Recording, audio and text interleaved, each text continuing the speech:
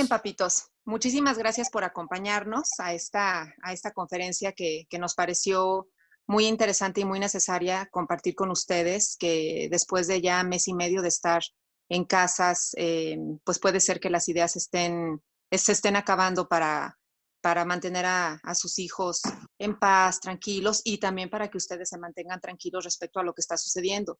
Porque como mencioné en la primera conferencia que tuvimos, esto va a terminar, esto tiene un fin, pero tenemos que saber llegar con tranquilidad y con paciencia a ese fin. Entonces, con mucho cariño y muchísimo agradecimiento, porque sé que ha estado sumamente ocupado, recibo al maestro Arturo Guerra Bedoya, originario de Puebla, miembro de los Scouts de México por más de 15 años, profesor por más de 30 años, conferencista en varios estados de México, fue director de la Escuela de Filosofía de la UPAEP, así como director de la formación de bachilleratos de la UPAEP también, maestro del Instituto Tecnológico de Estudios Superiores de Monterrey, Campus Hidalgo, maestro de la UDLAP en Escuela de Negocios y actualmente es presidente de la Federación de Escuelas Particulares en Puebla y miembro del Consejo de la Confederación Nacional de Escuelas Particulares. Y además de toda esta experiencia, es un gran compañero, es un gran ser humano y siempre, siempre se ha mostrado muy dispuesto a ayudarnos y a compartir sus conocimientos y experiencias. Por lo tanto, muchas gracias Arturo por estar aquí. Ahora sí, te cedo la palabra.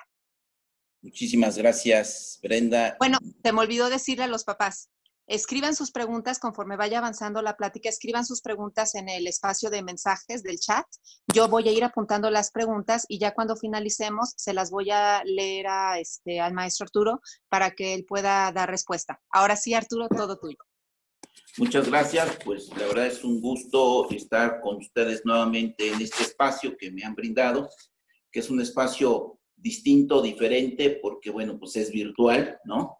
Este, eh, eh, bueno, decíamos hace tiempo que esto alguna vez lo íbamos a vivir y creo que ya lo estamos viviendo, ¿no? Más rápido de lo que nosotros imaginábamos, más pronto de lo que nosotros, nosotros imaginábamos, pero desafortunadamente también bajo una circunstancia y una situación un poco más compleja, ¿no?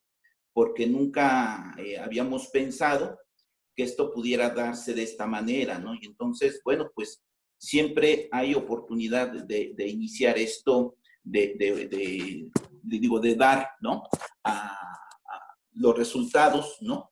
Que debemos darlos, ¿no? En las circunstancias que deben ser, ¿no?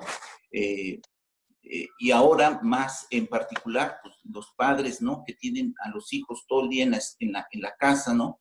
Que los hijos, pues, e, extrañando, ¿no? A los compañeros, porque precisamente una característica que yo decía hace rato este, en una clase que estoy dando, algo que nos caracteriza son las relaciones, ¿no?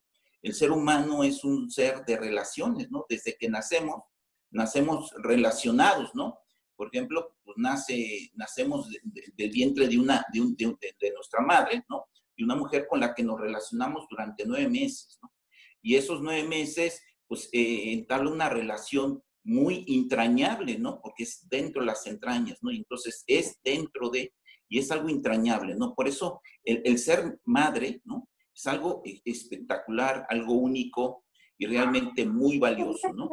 Eh, en cierto, pues esto, este, pues los hijos aparentemente en algún momento creo que no sabemos apreciarlo, pero conforme vamos creciendo, vamos madurando, nos vamos dando cuenta del significado que tiene todo esto, ¿no? Entonces, eh, pues, para mí es un gusto venirles a hablar del tema sobre ser padre en tiempo de crisis, ¿no?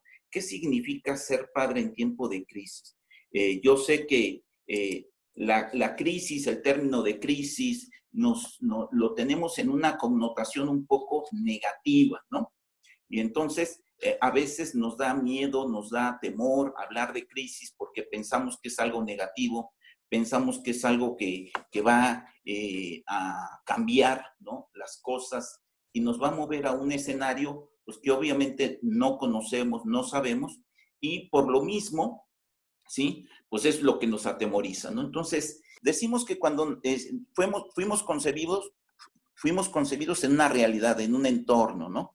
En un entorno a través del cual precisamente, pues, era un entorno biológico, ¿no? Meramente biológico. De hecho, cuando nacemos, lo, que tenemos que desarrollar primeramente son nuestros sentidos, ¿no? Estos sentidos que de alguna manera pues nos van a servir para ir teniendo esta relación, interacción con el mundo externo, ¿no? La vista, el oído, el gusto, el tacto y todo este tipo de cosas. Sin embargo, ¿qué pasa? Poco a poco vamos creciendo, vamos eh, perfeccionando estos sentidos, porque además nacemos, por ejemplo, sin el perfeccionamiento de ellos, ¿no?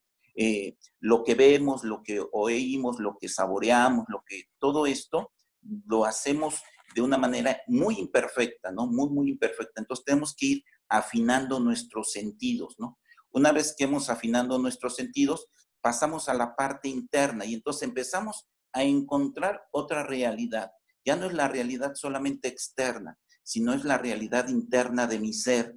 ¿Quién soy yo? Y entonces empiezo a descubrir mis sentidos internos, mi sentido común, que eso que huelo, lo huelo yo, que eso que oigo, lo, oigo yo, que eso que veo, lo veo yo. Entonces empiezo a descubrirme, ¿no? Al mismo tiempo que este entorno que me rodea, que empiezo a cobrar conciencia, cobro conciencia del entorno en cuanto a lo que soy, ¿sí? Y en cuanto a lo que es.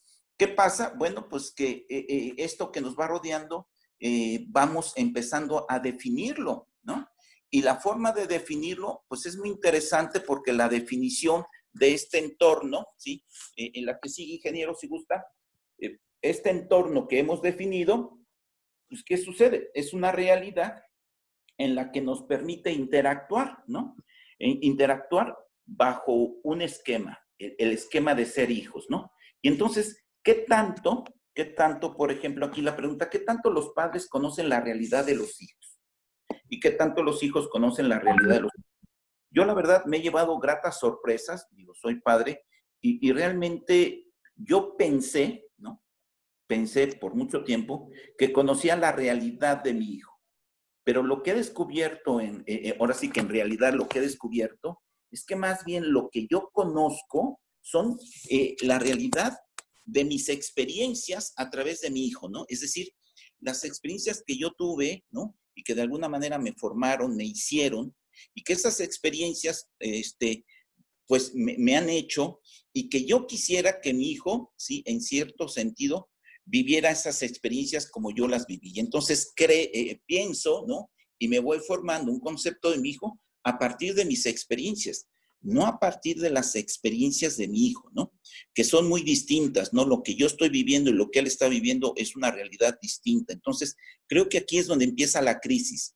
La crisis empieza en que eh, eh, el hijo no entiende al padre porque el padre está partiendo de sus experiencias, ¿no? Y está hablando de sus experiencias y está tratando de que nosotros aprendamos de sus experiencias cuando esas experiencias no las hemos, el niño no las ha vivido, y entonces por lo tanto empieza el conflicto, empieza la crisis, empieza el conocimiento, y entonces el, niño se cuestiona y dice, bueno, a ver, ¿qué, me está queriendo decir? ¿no? Y no lo entiendo, no sé qué me quiere decir.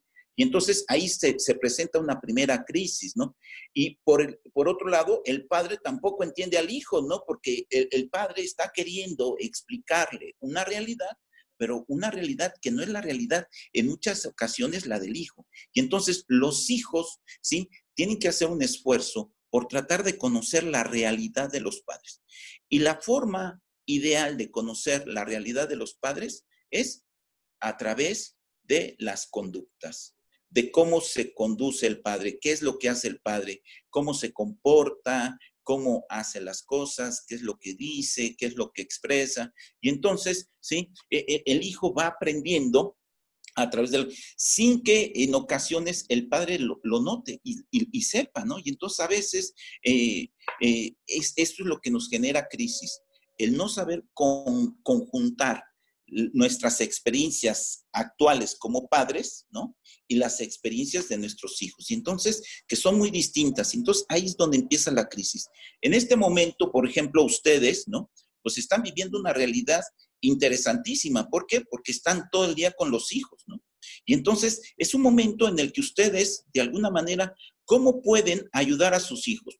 Pues por medio de los ejemplos, viéndolos leer, ¿no? No pidiéndoles que lean, sino viéndolos leer, no pidiéndoles que hagan las cosas, sino haciendo las cosas con ellos, no pidiéndoles aquí y allá, sino más bien que los niños vean lo que ustedes están haciendo y eso que ustedes están haciendo, en cierta forma, es la mejor enseñanza y es el mejor aprendizaje que un hijo puede tener. Y entonces el hijo va aprendiendo precisamente a partir de esas experiencias que él va viviendo, ¿sí? Y que el padre, la madre, le va transmitiendo.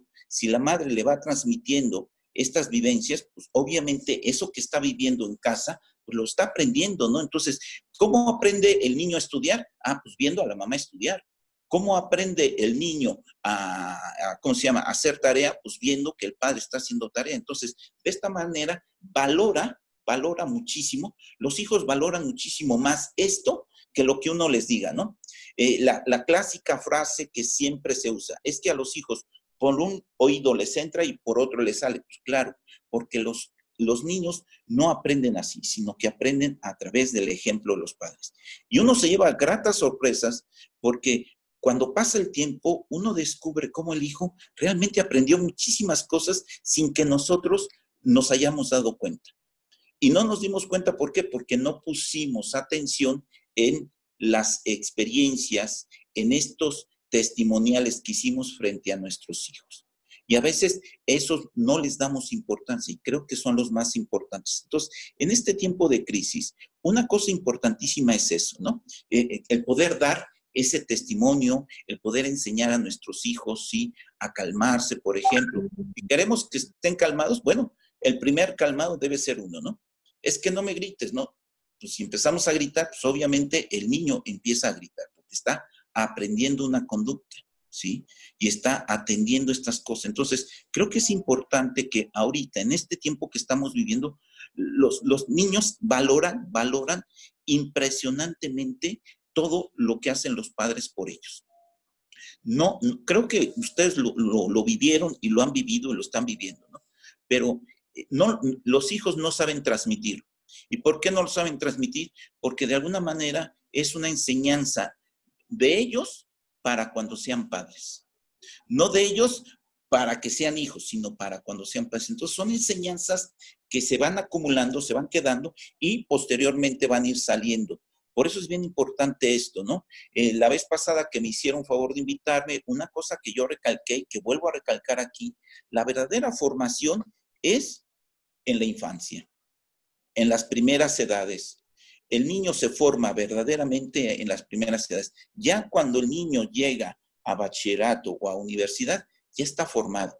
Y está formado en base a qué, qué fue lo que lo formó? Los ejemplos de los padres. Esto es algo fundamental. Por eso muchas veces los niños toman como modelo a ciertos personajes, a ciertos héroes. ¿Y por qué los toman?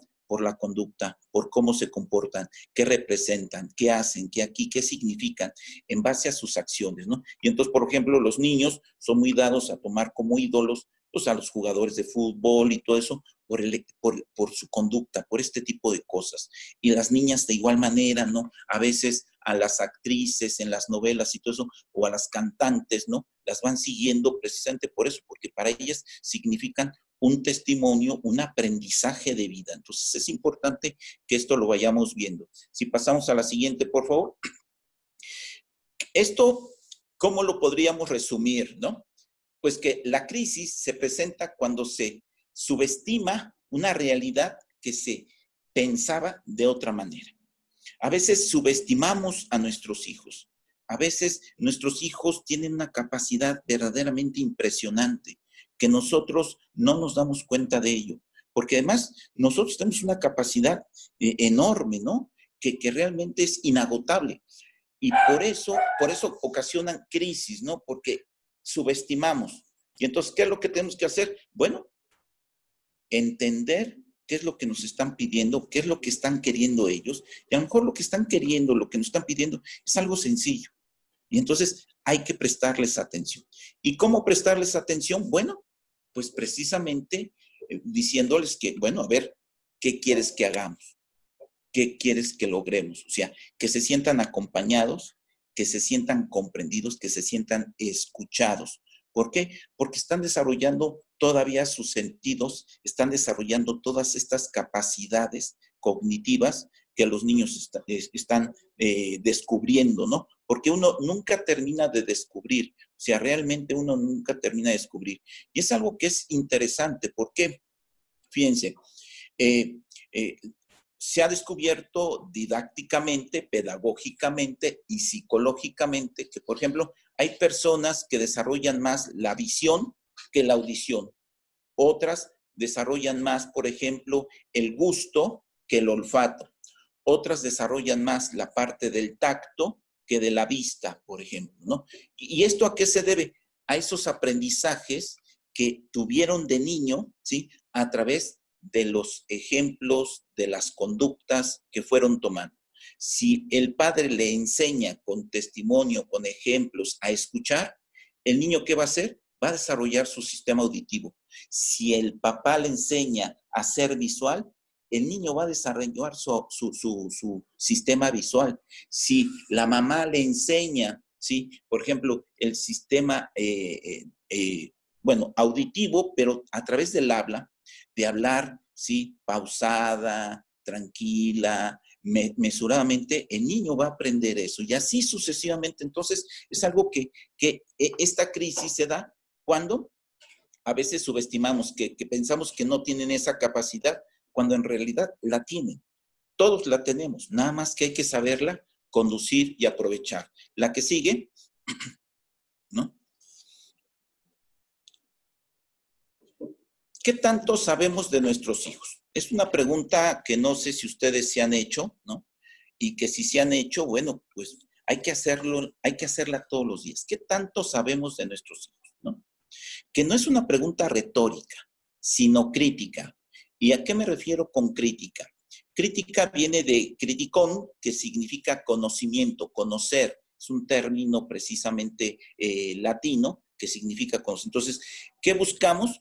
Pues buscamos precisamente responder a esa, esa crisis, es decir, a ese conocimiento. nosotros ciertamente llegamos a conocer eh, a nuestros hijos, pero no conocemos su potencial, simplemente conocemos a nuestros hijos como hoy se muestran, pero atrás de ellos hay un potencial enorme, enorme, enorme, que muchas veces no alcanzamos a conocerlo. ¿Por qué?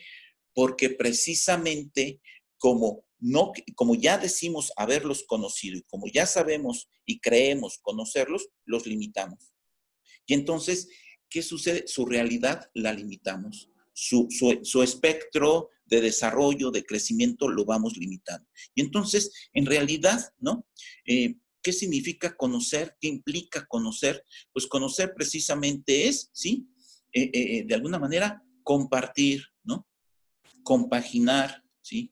Comprender, ¿no? Y comprender en el sentido de lograr no solamente llegar al entendimiento, sino llegar a la vivencia de esas cosas que el niño está experimentando, que el niño está sintiendo, ¿no? Entonces, cuando el niño siente temor, ¿no? Pues hay que enseñarle a ver por qué ese temor, por qué esa angustia. No solamente decirle, es que olvídate la angustia, olvídate el temor, no pasa nada. No, a ver, ¿qué te está ocasionando ese temor? ¿Por qué te está provocando angustia este examen? Y entonces, ¿para qué? Pues para que el niño aprenda en cierta forma qué es lo que lo está ocasionando, qué es lo, que lo está provocando y con ello pues puede encontrar una respuesta. Muchas veces la, forma de, eh, de, conocer es precisamente evitar estas situaciones. Si yo tengo miedo, ¿sí? ¿Qué hago? Evito el miedo, ¿no? A ver, ¿qué es lo que me está provocando el miedo? Y entonces entender qué es lo que me está provocando el miedo y de esta manera yo poder, ¿sí? Salir adelante, ¿no? Porque, ah, pues a lo mejor el miedo que, me, el miedo que estoy teniendo es un miedo que a veces pudiera ser este, absurdo, ¿no? O tonto, ¿no? O poco inteligente. Entonces aquí tenemos que ser nosotros lo suficientemente capaces para poder resolver ese entorno, esa realidad que a veces no sabemos afrontar y que no sabemos que, eh, cómo nuestros hijos pudieran aprender a afrontar esta realidad. Y pues la manera más fácil, más sencilla es esta, ¿no? Ok, la siguiente. Bien, los hijos saben muchas cosas de los padres, ¿eh? Nuestros hijos saben muchísimo más de nosotros que nosotros de ellos, ¿eh? Pensamos que a veces no entienden, pensamos que a veces no saben, pensamos que a veces, sí, y, y como que de repente creemos que le estamos ocultando las cosas. Pero en realidad, sí, no es eso y no es así. Por eso es un momento, ¿sí? De ir entendiendo a los hijos de cómo funciona, ¿sí? Propiamente su entendimiento, ¿no? Suena tautológico, pero cómo ellos entienden y cómo funciona ese entendimiento, ¿no? De hasta dónde pueden ellos lograr conocer eh, a sus padres. Por ejemplo, ¿qué tanto los conocen? ¿Cómo los conocen? ¿Qué es lo que han hecho para conocerlos? ¿no? Eh, ¿De qué manera los han conocido? Y entonces, a lo mejor los conocen por pláticas que han tenido en las comidas, ¿no? Familiares. Ah, yo ya me enteré que mi padre hacía esto. Ah, yo ya me enteré que mi mamá hacía esto otro. Yo ya me enteré esto y aquí. Y eso es padre porque eso los emociona y eso va descubriendo otra cosa muy interesante, ¿no? Pero también nosotros qué tanto conocemos de nuestros hijos. Y entonces, para ello, no solamente es cosa de charlar con ellos, sino de ponernos a hacer cosas con ellos y ver de qué son capaces. Y, descubrimos que tienen una capacidad impresionante de hacer cosas, ¿no? Por ejemplo, mm, eh, eh, digo, pongo un mal ejemplo, ¿no? Un mal ejemplo que es mi hijo, ¿no? Por ejemplo, eh, en mi caso, ¿no? A mí lo que me asombra y lo que me tiene verdaderamente asombrado es la capacidad de mi hijo, ¿no? Él es muy auditivo, cosa que yo no lo soy. Yo no soy auditivo ni soy, yo soy muy visual. Mi hijo no es visual. Entonces, ¿de quién lo aprendió? Pues de su mamá. Y fíjense, es interesante porque él, por ejemplo, ahorita, digo, ya está más o menos grande, ¿no? Y, él solo ha ido aprendiendo cosas por, cuenta propia y, y, que se le facilitan. Y la verdad es que ¿Qué, es lo que, es lo que me faltó a mí, ¿no? Y lo digo por experiencia, acercarme un poco más a él, a saberlo escuchar, a saberlo, ¿no? Por ejemplo, estar un rato con él, ¿no? Porque él eh, en momentos se metía a hacer música, le gustaba hacer música. ¿Por qué? Porque es muy auditivo. Y a veces pensamos que era una perdedera de tiempo y en realidad no, fue una inversión, ¿no? Digo, fue una inversión tal que ahorita este, pues él afortunadamente ahorita ya maneja casi tres idiomas completos, ¿no? Entonces, digo, ¿y cómo se aprenden los idiomas? A través de, la, de, la, de la audición. Entonces, creo que e, es importante, ¿no? Entonces, ¿qué tanto conocemos a nuestros hijos? ¿Qué hacen nuestros hijos?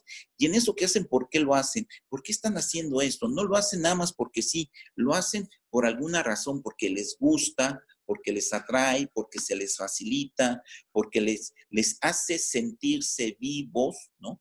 Vivos, porque les hace sentirse ellos mismos quienes son. Y entonces, todo eso es lo que definimos como verdad, ¿no? Que es ese momento específico para interactuar y para abrir esos espacios de entendimiento. Es decir, la verdad, lo verdadero, tiene que ayudarnos a abrir esos espacios con nuestros hijos, ¿no? Y, abrir esos espacios es, por ejemplo, ver qué es lo que más le gusta. También aprender qué es lo que más temen, qué es lo que más les angustia, qué es lo que más le preocupa. Y en base a eso, bueno, e, eso, irlo descubriendo con ellos es una cosa extraordinaria. Por eso, miren, ahorita que estamos viviendo bajo esta, e, esta situación, estamos descubriendo cosas verdaderamente extraordinarias en la educación, ¿sí? De nuestros hijos. ¿Por qué? Porque nuestros hijos son ahora quienes nos están enseñando a nosotros, ¿sí? Quienes nos están enseñando a nosotros. Y son ellos los que ahora nos están enseñando. Entonces, hagámosle ver realmente lo importante que son y lo importante que está haciendo que ellos también vayan descubriendo esas cosas porque hay muchas cosas que nos pueden enseñar ellos y que nos están enseñando ellos, ¿no? Y que realmente aquí lo más importante y sobre lo que se basa la verdad es la confianza, confiar, ¿no? Es decir, fiarnos de, ¿sí? la fe, ¿no? El confiar, el fiar, ¿no? La fe, ¿qué cosa es? La fe es un conocimiento. La fe es conocer de una manera tal que lo que yo sé lo sé porque me lo están diciendo, porque alguien me lo está diciendo. Entonces, esto es lo interesante, esto significa fe. Alguien me lo ha dicho y yo lo acepto y digo, es verdad, ¿no? ¿No? Es verdad. Por ejemplo, ahorita, pues no los veo a todos ustedes, pero es verdad que ahora íbamos a tener esta charla con ustedes pues claro, es verdad. Yo me fié, ¿sí? De, este, de Brenda y de Mariela y pues aquí estoy. Y entonces, la confianza es el fundamento de la verdad. Hagamos que los niños, que los hijos se sientan confiados, es decir, que descubran el valor de la confianza, Y que ellos se sientan verdaderamente, ¿sí? Que les estamos teniendo confianza, que eso es un valor riquísimo para ellos, ¿no? La que sigue. Bien, una vez que hemos logrado esto, pues un hijo nunca verá a un padre con malos ojos. Nunca lo va a ver con malos ojos, ¿sí? ¿Por qué? Porque aprende del padre a ver con amor. En este caso lo traducimos. ¿Qué pasa con el hijo? El hijo aprende de la madre a ver con el corazón. Y entonces el hijo a veces tiene una mirada, ¿sí? Que nosotros no captamos, ¿no? ¿Por qué no captamos? Porque precisamente está viendo, ¿sí? Como nosotros vemos. Y entonces, si yo veo de una manera negativa, pues mi hijo va a ver de manera negativa. Si yo veo de una manera distorsionada, pues mi hijo va a ver de una manera distorsionada. Entonces, yo cómo quiero, cómo quiero que mi hijo vea las cosas ahorita que se están presentando. ¿Yo qué tengo que hacer para que mi hijo vea las cosas bien? Que este momento de crisis, que este momento así, que pues está aquí a veces aburrido, ¿no? ¿Qué tengo que hacer? Pues que no las vea, ¿sí? Así. ¿Y cómo las va a ver diferentes? Ah, pues a través de mi mirada. Y entonces yo tengo que hacerle que descubra a través de mi mirada aquello que él quizá no alcanza a ver. Y lo que yo no alcanzo a ver, pues verlo a través de él también, ¿no? Porque hay muchas cosas que podemos seguir viendo a través de los hijos y que lo que vemos a través de los hijos son cosas verdaderamente interesantísimas, ¿no? Muy interesantes. ¿Esto por qué lo digo? Fíjense, cuando me pidieron dar la plática y todo eso, yo me quedé pensando en varias cosas, investigando y todo ello, pero me vino a la mente una situación, ¿no? ¿Qué situación? Fíjense, fue algo muy curioso porque mi hijo a los 19 años, ¿no? Eh, tuvo una, una novia, ¿no? Que, este, pues era, este, ¿cómo se llama? Sobrecargo y pues tenía la facilidad de viajar por todo el mundo, ¿no? Era, era sobrecargo una aerolínea europea, ¿no? Entonces viajaba por todo el mundo. ¿Qué fue lo que sucedió? Papá, me voy a Miami con ella. Híjole, pues qué se puede uno imaginar, ¿no? Y luego, pues uno dice, ¿no? Uno que a veces se formó así medio conservadora y todo, y, y, la verdad, después de ese viaje y después de año y medio, dos años que, que regresó del viaje, tuve la oportunidad de platicar con él y la verdad fue impresionante porque me dijo, papá, tú me enseñaste esto, tú me dijiste esto, tú me transmitiste estos valores, tú me transmitiste estas cosas y entonces, ¿sabes qué? Los aprecio. ¿Y por qué los aprecio? Porque yo sabía que en el viaje tenía que comportarme así, tenía que hacer esto, no tenía que hacer esto otro, no hice esto, no hice aquí. ¿Por qué? Porque aprendí de ti. Y esto fue lo que me, me, quedé así pasmado. Híjole, pues la verdad es que yo no conocía eso de mí, no lo conocía. Y es esa parte que a veces desconocemos de nuestros, y entonces aprendemos de nuestros hijos, ¿sí? A través de su mirada, a través de esto. Pero ¿por qué lo aprendió así? Porque uno ve también las cosas así. Entonces cuando me empezó a decir esas cosas, dije, ah, fíjate, aprendió a través de lo que yo sentía, de lo que yo vivía, de lo que yo en cierta forma le enseñé a ver. Sin que necesariamente le decía, mira, ve, ve las cosas, así son, ¿no? Simplemente eh, uno como padre ve las cosas y al ver las cosas uno pues las valora, las aprecia y les da un significado. Este significado puede ser bueno, puede ser agradable, puede ser malo, puede ser desagradable, puede ser útil, puede ser nocivo, puede ser indiferente. Y entonces aquí los hijos captan todo eso. Y entonces los hijos son verdaderamente hábiles. Entonces, hoy que están próximos a ustedes, hoy que los hijos están todo el tiempo eh, en casa, ¿qué es lo que hacen? Pues los observan mucho más que antes. Y lo que están observando, lo están aprendiendo. Lo que están viendo de ustedes, lo están aprendiendo. Lo que están haciendo ustedes, lo está aprendiendo. Y lo está aprendiendo para ponerlo en práctica, no ahorita, no ahorita, sino el día de mañana. Y entonces es cuando uno dice, ah, caray, pues sí vale la pena. Realmente hay que saber confiar en los hijos y hay que saber ver, ¿no? Ver con esa mirada de amor, de confianza, de, de, ternura, ¿no? De cariño, porque eso es lo que más van a valorar el día de mañana los hijos, ¿no? La que sigue. ¿sí? La confianza, como decimos, no se gana, ¿sí? Aquí está mal, se regala. Y es algo que debe ser especial. Nosotros tenemos que regalarle a nuestros hijos confianza. Pues no sabemos cuándo la requiera el padre, ¿no? Y mucho menos cuándo la requiera el hijo. A veces pues no sabemos cuándo debemos confiar en nuestros hijos, ¿no? Porque es que, ¿sabes qué? Este niño como que es mala influencia, como que este, esta niña como que no, no me late. Eh, y entonces empezamos a, a generar desconfianza en nuestros hijos, no por nuestros hijos, sino por otros. Cuando en realidad lo que debemos hacer es, debemos confiar en nuestros hijos, ¿no? Demos confianza a nuestros hijos y dando ejemplo de, humanos ante los momentos más simples, pero también más significativos e importantes. Este tiempo que estamos viviendo es muy significativo porque está marcando a la humanidad. Algo que estamos viendo, estamos eh, eh, en un proceso de un cambio de época que ha tardado mucho tiempo. Fíjense, el cambio de época se inició en 1968 y es tiempo que no ha terminado ese cambio de época. ¿no? Entonces, ¿qué va a suceder después de esto? Posiblemente veamos ya el fruto de una nueva época. ¿Y esto cómo lo vamos a ver? A través de lo que nosotros logremos darle de significado a estas experiencias, a esto que estamos viviendo. Hoy lo que estamos viviendo, ¿sí? En cierta forma, es algo que va a poner la base para el futuro.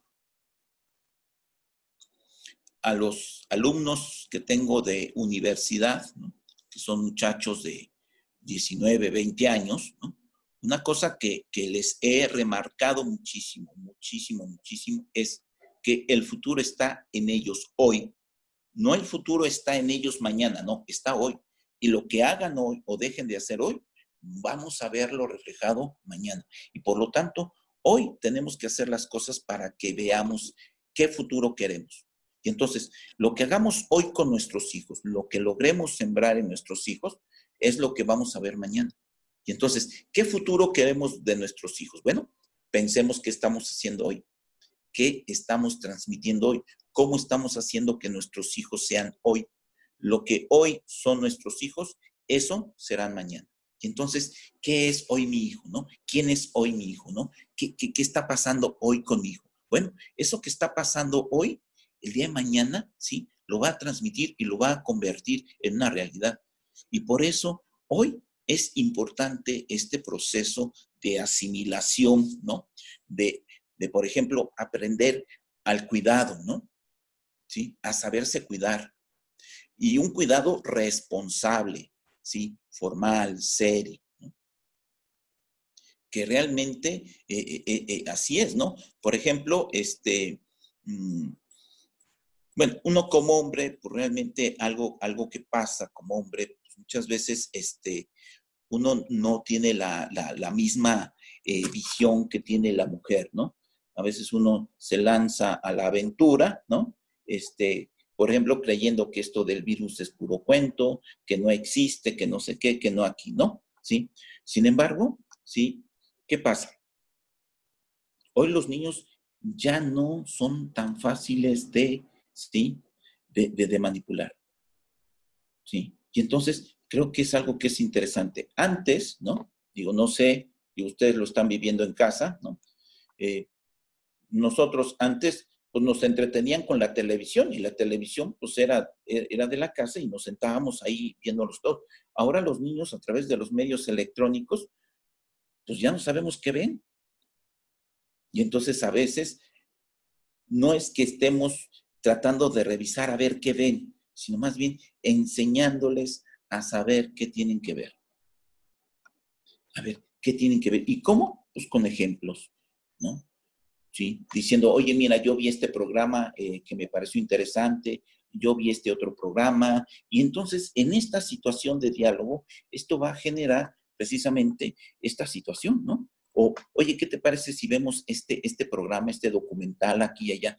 Que esto pues va a ayudar a que el niño aprenda a ver ese tipo de situaciones, ¿no? O vamos a leer esto, ¿sí? Vamos a descubrir esto y entonces el niño va a ir tomando eso en consideración para su vida futura, ¿no? Bien, la que sigue. ya casi terminamos, ¿no? Bien, es, este momento es de sumar, ¿no? Es de sumar, más que de restar, ¿no? Tenemos que aprender a sumar. ¿Y, sumar qué es? Es agregarle algo más a nuestra vida, hacer que nuestros niños le agreguen sentido a su vida, ¿no? Y entonces tenemos que enseñarles a que ellos mismos aprendan a agregarle algo a su vida. Y esto que le agregan, pues tiene que ser muy importante, ¿no? Y por eso, precisamente, tenemos que eh, orientarlos, ayudarlos a que ellos descubran qué es eso importante para su vida, ¿no? Y entonces, hagamos que los niños se sientan, ¿no? Que quizá lo más importante ahorita, lo más, es la vida. El valor más importante, el valor más significativo, el valor más representativo es la vida. Segundo, la familia. Creo que ese valor es fundamental. He tenido oportunidad de, trabajar con jóvenes desde hace mucho tiempo y, he, venido viendo cómo poco a poco el valor de la familia va quedando eh, como en un tercero, cuarto y hasta quinto lugar, ¿no? O sea, a mí ya, ya, ya la familia, o sea, mi familia, o sea, mis padres, mis hermanos sí me interesan, pero yo formar una familia no. Yo tener una familia no. Y entonces vemos cómo los jóvenes han ido haciendo de menos a la familia. Y yo creo que hoy lo que tenemos que hacer es sumar a la familia, hacer que la familia sea importante, que los niños sientan que la familia es un elemento, ¿sí? Esencial en la sociedad. Porque gracias a la familia, pues realmente esto se va a eh, ir este, fomentando poco a poco y se va a ir fortaleciendo. Y entonces, cuidemos en todo momento, por ejemplo, las palabras, las miradas, los gestos, los recuerdos familiares. ¿Cómo hablamos de la familia? ¿Qué decimos de la familia? ¿Cómo nos miramos como familias? ¿Qué gestos tenemos de la familia? ¿no? ¿Qué recuerdos? ¿no? entonces, quizá a lo mejor eh, es momento de ir ¿no? Por ejemplo, desempolvando un álbum, ¿no? Y, irlo viendo con los niños, ¿no? Bueno, aunque ahora ya casi no hay álbumes, ¿no? Pero, por ejemplo, lo que se tenga. Recordar esos momentos ayuda mucho, ¿no? Sí. ¿Por qué? Porque va a ser este momento que estamos viviendo, lo va a ser muy especial para ellos el día de mañana. Y por eso requiere de nuestra atención. ¿Por qué? Porque el, quien está influyendo ahorita en este momento más es el padre, la madre, más que los maestros, más que los amigos, más que otras personas, somos nosotros. Y entonces yo creo que es el momento más indicado para poder formar a mejores ciudadanos, a mejores personas, mejores padres, mejores madres de familia, ¿sí? mejores hijos, Y entonces ahí es donde está. Y que valoren el trabajo de casa, ¿no? Algo que, que a veces este, pasa es esto, ¿no? Fíjense, la semana pasada este, tuvimos oportunidad, algunos maestros, de eh, tener un diálogo con el rector del TEC de Monterrey, ¿no? Y, y, algo que él transmitía que fue que estuvo con algunos alumnos, se metió a algunos grupos a platicar con los muchachos y algunos muchachos le decían, es que estamos aprendiendo cosas que nunca imaginamos haber aprendido.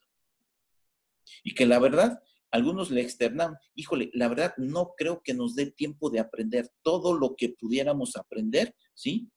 Eh, en, en este poco tiempo que vamos a estar encerrados. Y que algunos inclusive decían, híjole, quisiéramos más tiempo para aprender más porque hay mucho que aprender de la familia, mucho que aprender de la madre, mucho que aprender del padre, mucho que aprender de los hermanos. Y hay un aprendizaje que es interminable y es riquísimo. es maravilloso. Pero ese aprendizaje no, no lo vamos a poner a prueba ahorita. Ese aprendizaje va a ser para el futuro. Y entonces es bien importante este momento. ¿Por qué? Porque los padres están marcando la pauta para el futuro. Ustedes como padres están marcando esa pauta. Y por eso, ¿sí? Precisamente esta situación, ¿cómo ser padre en tiempo de crisis? Pues es marcando las pautas para el futuro. Esa es la, la situación. ¿Qué futuro queremos? Y no solo queremos para nosotros, sino queremos para nuestros hijos. Entonces, es momento de ir reflexionando con ellos qué momento deseamos, ¿no? Viendo un, estado inseguro, un estado violento, un estado en crisis, un estado en muchas situaciones que no nos gusta cómo está.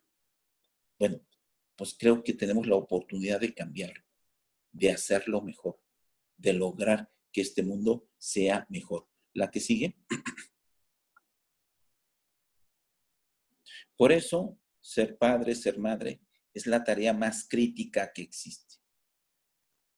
Porque nadie nos enseña a ser padres. Tenemos que aprender, tenemos que conocer, sabiendo ser padres, ser madres, aprendiendo a ser madres, ¿no? No hay otra. Es la más importante de la vida. Y a veces no nos las creemos, a veces eh, no la valoramos, a veces no la entendemos. Y muchas veces cuando la entendemos, pues ya el tiempo ya se fue. Y cuando uno se da cuenta, híjole, me hubiera gustado haber hecho esto con mi hijo. Bueno, pues tienen la oportunidad ahorita de hacer muchas cosas, de verdad, muchas cosas con sus hijos. De llenarlos de ilusiones, de esperanza, de llenarlos de, de gratitud, ¿no? De mucha gratitud por el hecho de estar aquí, ¿no? de tomarles la mano, ¿sí? Y, caminar con ellos, ¿sí? A su lado. Porque es la tarea más importante que hay. Es la más crítica. Pero crítica, ¿por qué? Porque, híjole, es la más difícil. Creo que de todas las tareas es la más difícil. Porque aquí, si uno echa a perder al hijo, lo echa a perder de por vida. No puede decir, bueno, ya lo eché a perder, ahora ya lo voy a componer. No, no hay composición.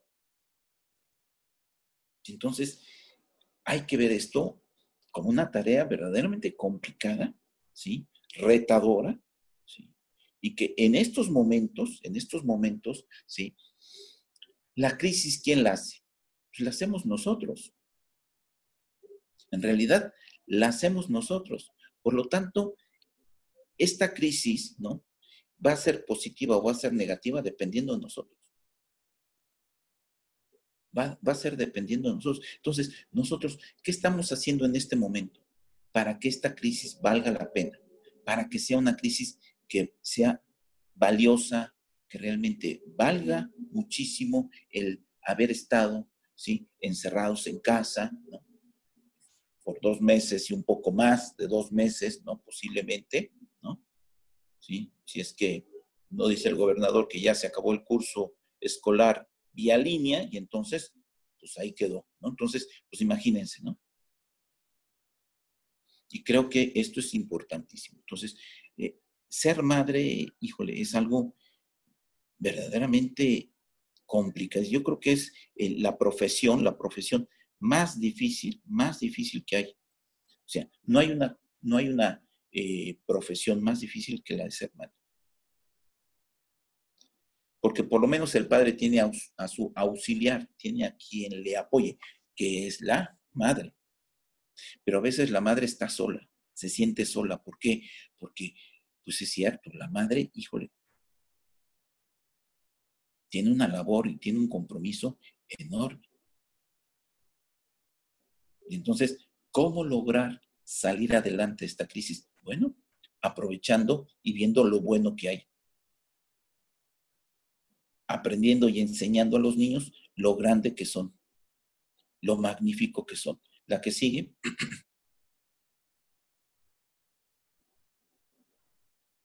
Bien, con todo esto, no, espera, un momento, un momento, bueno, ya nada más, este, este video aunque muestra al padre, pues creo que también las madres este, lo son, ¿no? O sea, es un video que a lo mejor algunos de ustedes ya lo vio, ¿no? Si no lo han visto, bueno, se vale llorar, ¿no? Se vale llorar, porque es un video fuerte, ¿no?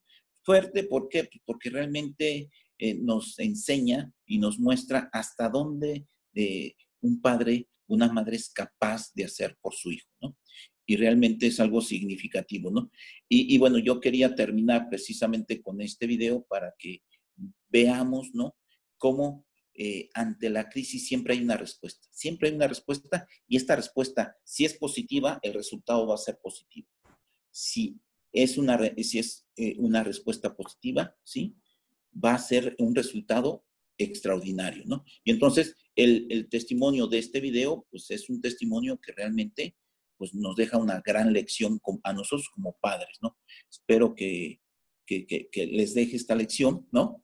Y ahorita regresamos a la sección de preguntas. Si hay alguna pregunta, lo vamos viendo. Adelante.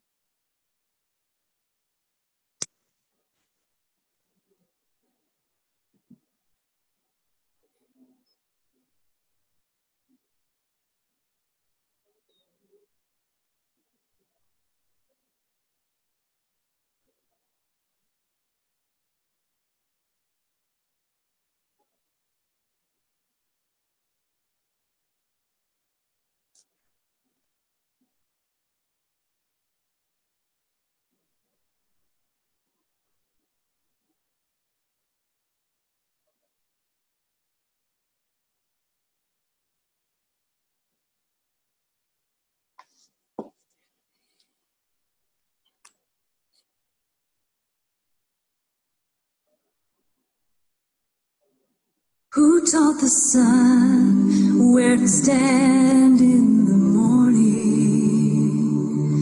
And who told the ocean you can only come this far?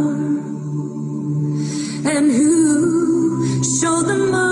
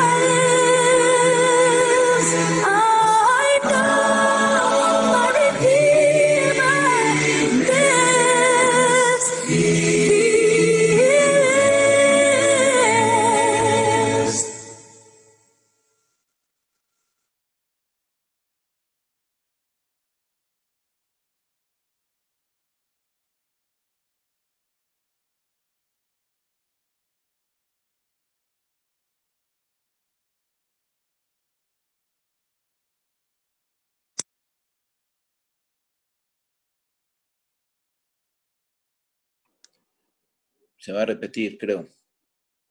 Si lo puede quitar ya. Ok. Bueno, pues todo lo puede en aquel que precisamente lo motiva. Entonces yo creo que esta es la, la- la situación. ¿Cómo salir de la crisis? Bueno, pues precisamente enseñándole que, que sí se puede, ¿no? Y, y enseñándole cómo y de qué manera. Entonces, pues creo que lo que estamos viviendo hoy es algo histórico, ¿no? que nos tocó vivir históricamente y que el papel de padres que tienen ustedes es un papel pues protagónico, ¿no? Es protagónico. ¿Por qué? Porque de aquí precisamente va a quedar determinado, va a quedar precisamente marcado el futuro.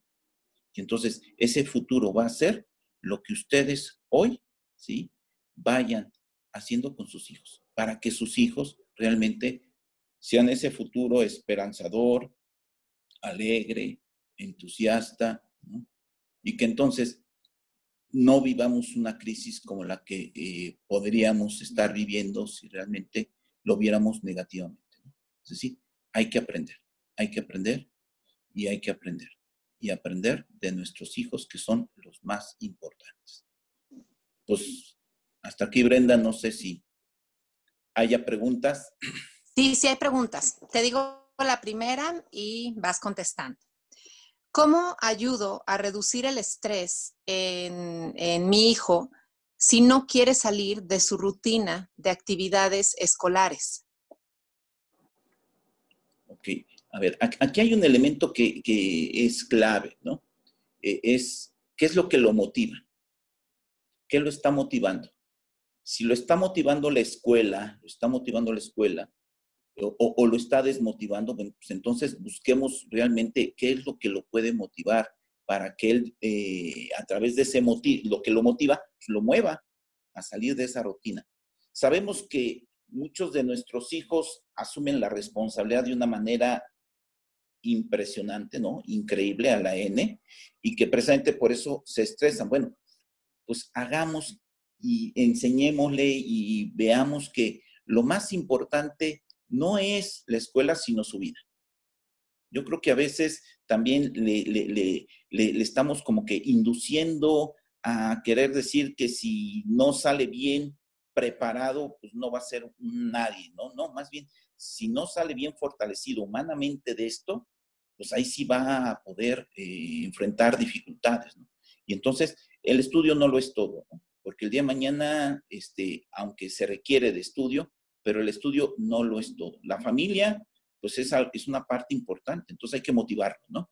A ver y buscar qué es lo que lo motiva.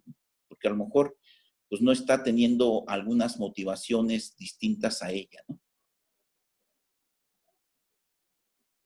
Ok, muchas gracias. Otra pregunta. ¿Cómo me puedo dar cuenta si, si estoy limitando a mi hijo? Pues yo creo que primeramente, ¿sí? Pues preguntándole, ¿no? ¿Cómo se siente? Si realmente él eh, pues, está viendo eso o no lo está viendo. Y otro, observándolo.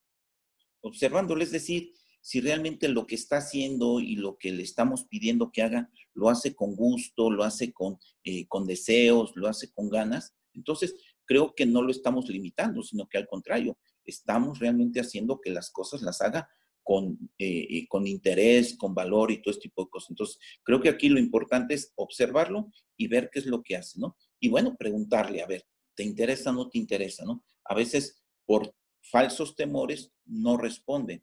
Bueno, tratemos de buscar un espacio idóneo o un momento idóneo para hacer las preguntas, porque a veces le preguntamos cuando más tenso está o cuando más irritado está, y entonces pues creo que no es el momento. Hay que buscar y hay que observar cuáles son los momentos para que podamos platicar con él.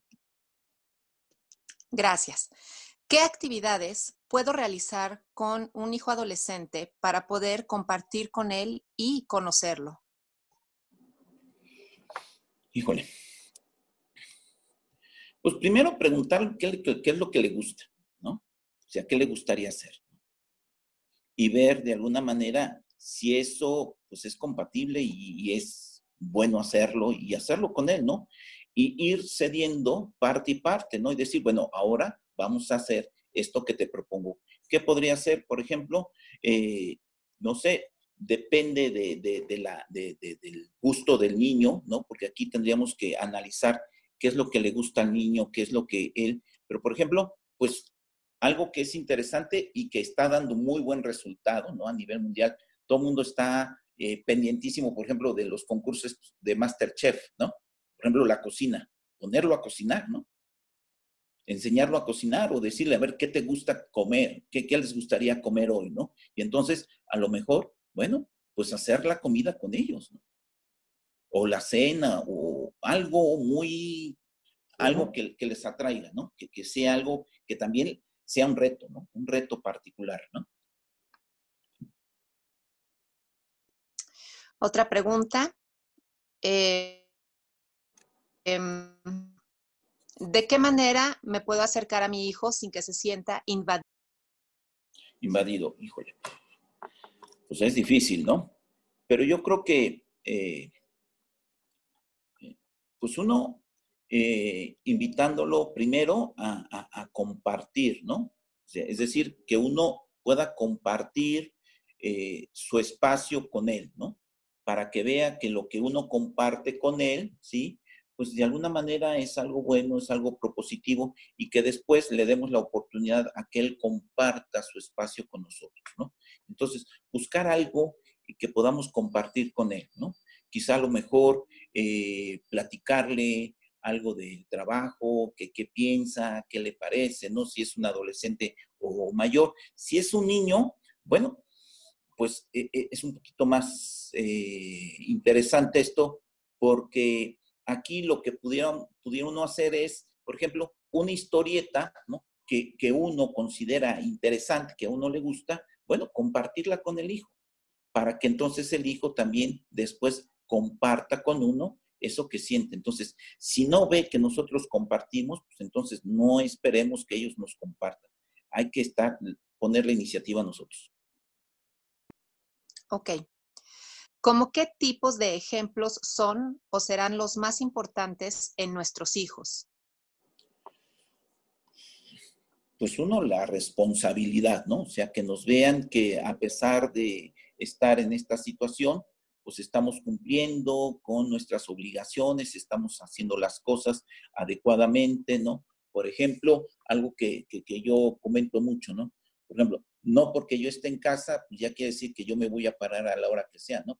tengo que pararme a la hora que corresponde, hacer lo que habitualmente hacía, ¿no? Si era asearme y alistarme para salir y desayunar, bueno, que lo vayamos haciendo. Y en esta forma ellos se van sintiendo también apoyados, ¿no? Por ejemplo, algo que, yo observo en algunos niños es de que eh, es cierto, por ejemplo, les está empezando a costar trabajo eh, ver la escuela a través de las tecnologías. Se sienten agobiados, se sienten cansados, se sienten así como que, eh, ¿no? ¿Por qué? Pues porque se tienen que parar temprano. Dicen, es que me tengo que parar temprano. Bueno, y cuando ibas a la escuela no te parabas temprano. Entonces, creo que aquí los padres tenemos que ayudar, ¿no? A que no cambien este, esta visión, sino que, a ver, vamos, nos paramos todos y que nos vean arreglados, que nos vean realmente listos, como si fuera un día eh, normal, ¿no? Porque a veces también influye el de que, ay, no, pues hoy no me paro, o me paro un poquito más tarde, o así. Entonces, el niño va captando esas cosas y pues, obviamente lo va desmotivando. En un mundo en donde los trabajos son muy abrumadores y demandantes, en esta época se ha podido convivir con nuestros hijos, pero no al 100%. ¿Cómo puedo tener ese vínculo sin que los niños se sientan sustituidos por un aparato? Es una buena pregunta y, es muy complicada, ¿no? Porque realmente, pues sí es cierto, ¿no? O sea, tenemos que cumplir con nuestra responsabilidad y pues estar atendiendo, ¿no? El, el teléfono, la computadora y este tipo de cosas, pues es dificilísimo, ¿no? Ahorita precisamente me, acaba de pasar, ¿no? Yo tuve que atender una serie de llamadas, ¿no? Eh, la particular del secretario de Educación Pública, y entonces es hora de comer y ¿qué haces, no? Entonces, creo que aquí eh, tenemos también que hacerles, eh, hacerles entender, ¿no? Que no porque las circunstancias han cambiado, esto quiere decir que ellos eh, no nos importa, ¿no? Nos siguen importando y nos siguen importando mucho, ¿no? Y, que realmente vean que el trabajo, el trabajo es un medio, ¿para qué? Para dignificarnos, para ser mejores personas. Y si ellos ven que el trabajo nos alegra, nos entusiasma y, nos mantiene con buen humor y no estamos enojados, estresados, molestos, pues obviamente el niño va a decir, oye, pues qué bueno que mi papá trabaje, ¿por qué? Porque está contento y entonces eso es bueno, ¿no?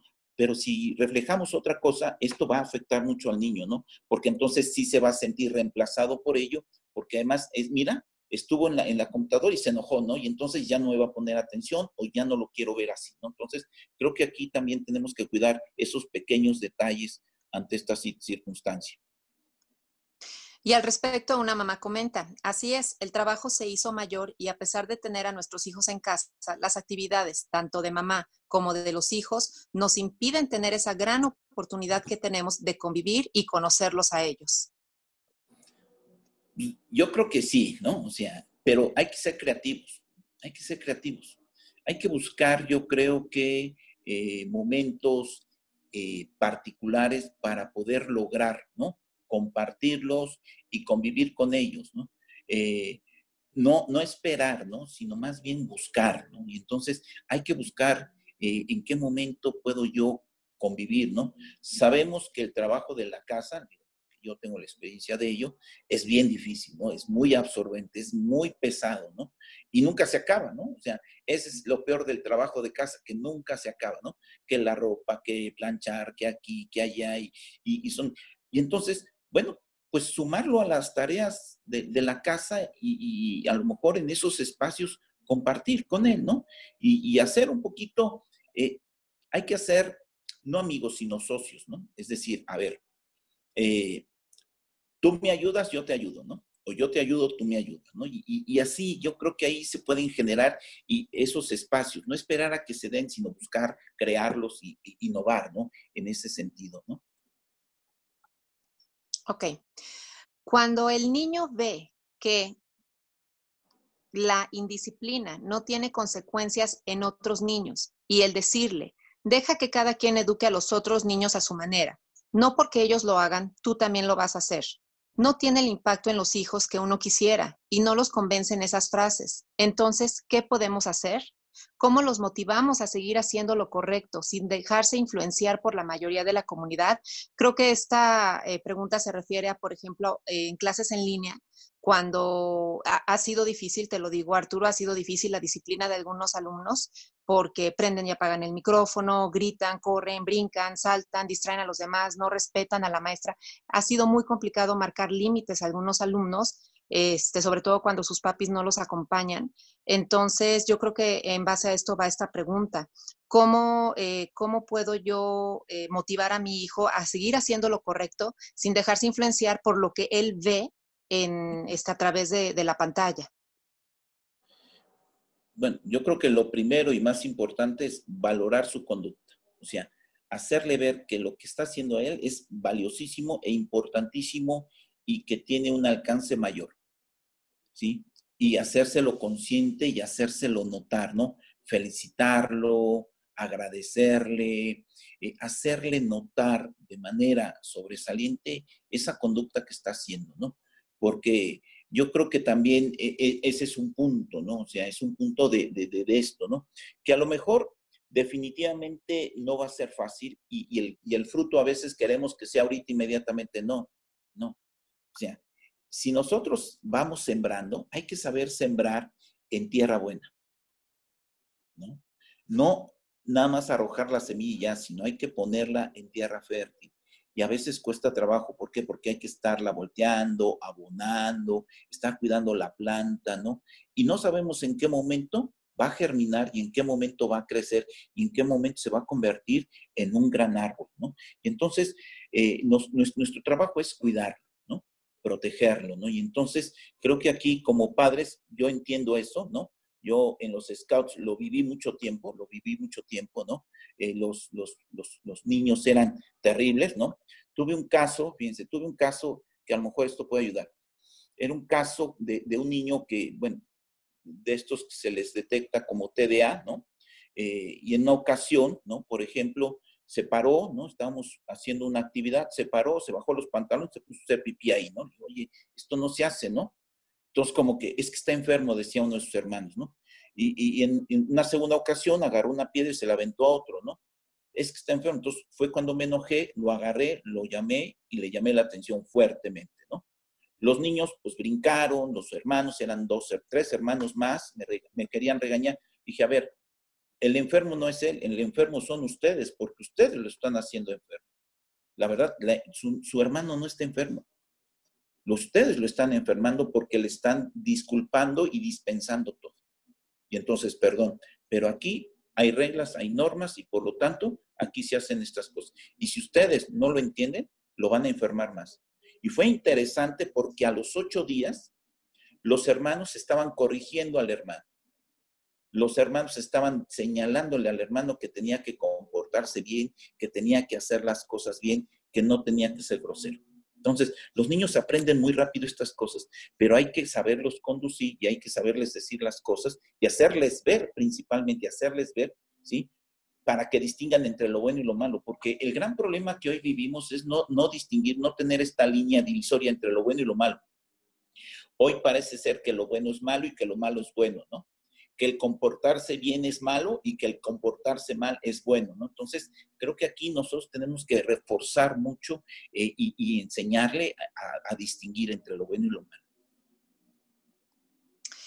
Y preguntan, por último, ¿qué pasa cuando esa influencia viene de casa? En el sentido de que si como papá ya estableciste reglas, pero al convivir con los abuelos se sienten protegidos y pasan eh, sobre tu autoridad. Pues sí, ahorita tenemos muchas familias confinadas que están, la mamá, el papá, los abuelos, los tíos, sí lo hemos vivido. Entonces, ¿qué pasa con esto, Arturo? Oh, es una pregunta que yo todavía no logro responder porque me pasó muchas veces a mí también, ¿no? mi hijo fue el, nieto consentido de sus abuelos y la verdad lo siguen consintiendo mucho. Pero mire, yo les digo una cosa, hoy por hoy mi hijo eh, me ha llenado de muchas cosas satisfactorias porque al final cobra conciencia del valor de la paternidad y la maternidad. y, identifica y reconoce quién es el padre y quiénes son los abuelos y al final termina sabiendo que los abuelos lo consienten y que los padres lo, forman, lo educan. ¿sí? Entonces, yo creo que aquí lo que, lo que eh, hay que hacer es no desanimarse, no desanimarse. Yo sé que es difícil, a veces uno se desanima, a veces uno dice, híjole, ¿no? Ya no quisiera, ¿no? Pero yo lo que sí les digo es, no se desanimen porque todavía hay un camino por recorrer, hay mucho camino por recorrer con los hijos y yo creo que en este caso, este, la única forma de poder vencer esas dificultades es animándose y dándose eh, precisamente cuenta de que eh, el valor de la paternidad, de la maternidad, es único. No es sustituible, es insustituible. Los abuelos nunca lo van a poder sustituir, ¿no? O sea, pueden reemplazar parte de, pero no lo sustituyen. Y nunca va a ser sustituto de, ¿no? Entonces, ahí los animo, y, de verdad los animo porque yo lo he vivido y me sigo preguntando, pero me doy cuenta que al final los niños no son tontos, se dan cuenta y entienden quién es el padre y entonces uno tiene que hacer valer, ¿sí? ¿Quién es el padre y quién es la madre? Y entonces yo como madre, ¿sabes qué? Aquí hay esto, ¿no? Que en ese momento quizá no lo obedezcan a uno, quizá, ¿por qué? Pues porque obviamente se sienten más motivados por los abuelos, porque los consienten un poco más, les dan un poco más, y entonces, o los castigan menos, y entonces obviamente el niño, pero al final, al final, el niño descubre quién tiene la razón, si el padre o los abuelos. Y yo estoy seguro, porque yo lo vivo, ganan los padres, por mucho. Afecta si es uno muy estricto al decirles, ya es hora de la clase, ya es hora de la tarea, repítelo. Yo sé que mi hijo lo hace, pero yo insisto en estas situaciones.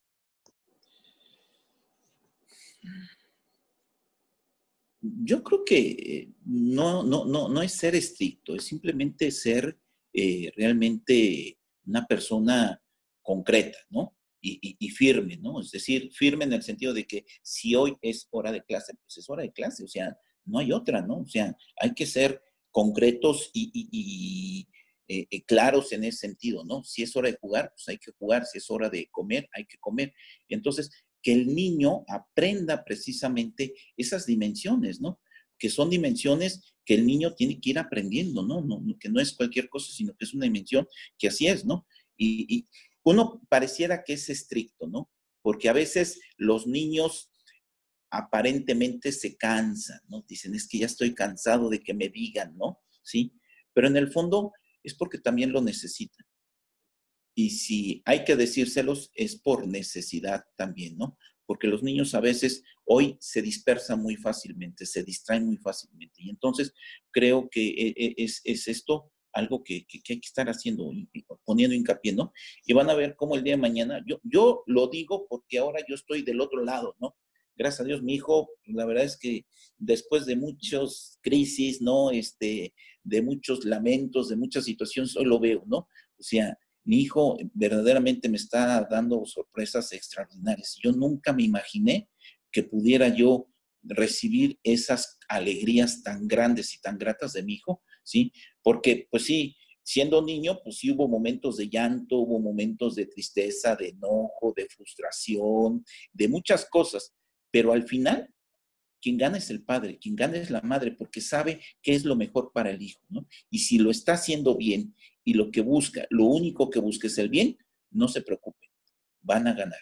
Y ganar no porque tengan que ganar, o sea, porque están haciendo las cosas bien. A veces uno como mamá se pregunta si está haciendo bien las cosas en la educación del hijo y esta situación nos ayuda a darnos cuenta cómo vamos y en qué debemos apoyar más. Aprovechemos este tiempo para verlos sin que ellos se den cuenta cómo interactúan con maestros y con compañeros, y su nivel de responsabilidad en todos los sentidos. Esto es como un examen de vida para todos. Totalmente de acuerdo, ¿no? O sea, uno va aprendiendo también esas cosas, ¿no? Y, como les digo, yo creo que hoy tenemos que aprender mucho de los hijos. Eh, los hijos nos enseñan muchas cosas, porque el mundo ha cambiado. Hoy el mundo está siendo visto por otros ojos diferentes a los que nos tocó ver a nosotros el mundo, la realidad. Entonces, creo que tenemos, nos enseñan cosas diferentes, distintas, y hay que aprenderlas, ¿no? Hay que aprenderlas. Y si queremos que confíen en nosotros, hay que confiar en ellos. Y ya para cerrar, Arturo, una mamá hace un comentario respecto a esto que dice, Hace unos días leía que hay que aprovechar estos momentos de crisis para ser resilientes y unirnos como familia. Ha sido increíble ver esto en cada uno de nosotros. Creo que me parece una, una reflexión muy, este, muy fuerte para, para cerrar eh, y, e irnos con, con, motivación y con ánimo a, a seguir este, en este camino que, que emprendimos hace mes y medio. Totalmente de acuerdo, ¿no? Hay, hay que ser pacientes, ¿no? Alguien me decía que la educación del, lujo, del hijo solo se, se logra con paciencia y con amor. Quien es paciente y quien ama al hijo, logra hacer grandes cosas. Y los hijos son fruto de ese amor y de esa paciencia, ¿no? Porque cuando seamos grandes, yo creo que vamos a tener que pedirle a los hijos que sean pacientes con nosotros. ¿no? Sí, sí, sí. ¿No? Quien está viviendo esta experiencia con sus padres, pues lo podrá ver, ¿no?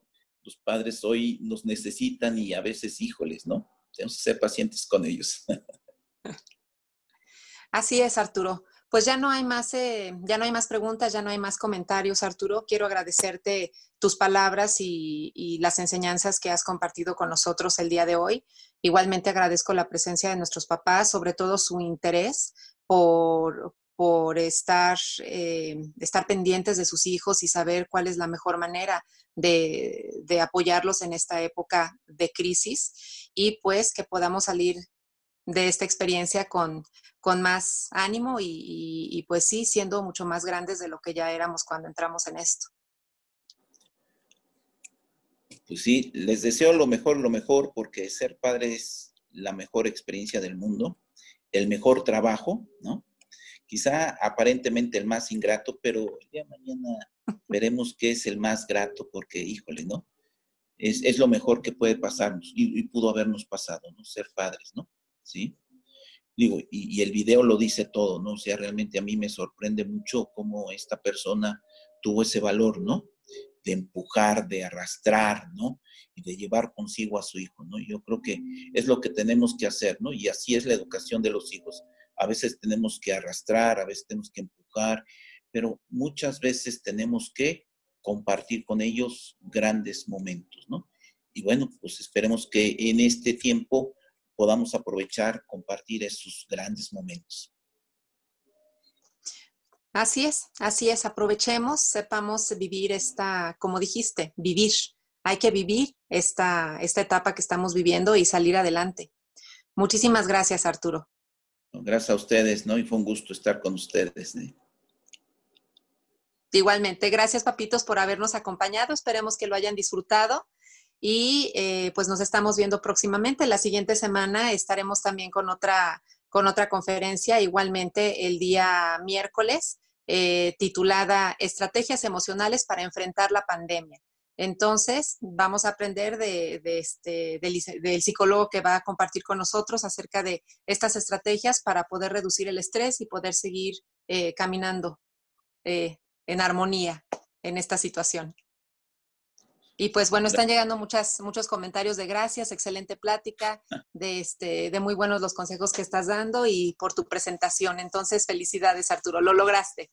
No, gracias a ustedes, más bien por su paciencia, ¿no? Sí, yo sé que son momentos difíciles, pero con todo gusto, ¿no? Sí. Muchísimas gracias y pues doble para ti porque sé que estás muy, muy, muy ocupado. Ahora sí ya puedes ir a, a atender este, aquella llamada que te llegó antes de la conferencia. Sí. Sí, no, no, no, no se preocupen, aquí estamos, ¿no? Pues perfecto. Me dio mucho gusto, ¿sí? Gracias, bueno. Arturo. Muchas gracias a todos. Hasta luego.